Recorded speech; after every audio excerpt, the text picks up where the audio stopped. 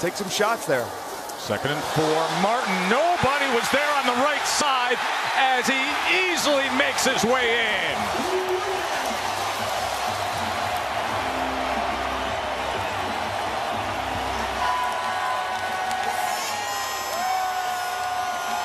Well, here's what they happened. They were playing man-to-man. We've been talking about they want to do it. So when he goes down to block, Brock runs with him, and they're able to collapse it on the edge because they don't know if it's a route or it's a running play. And it's able to collapse the edge because Brock's in man coverage. He's got to run with Roberts there.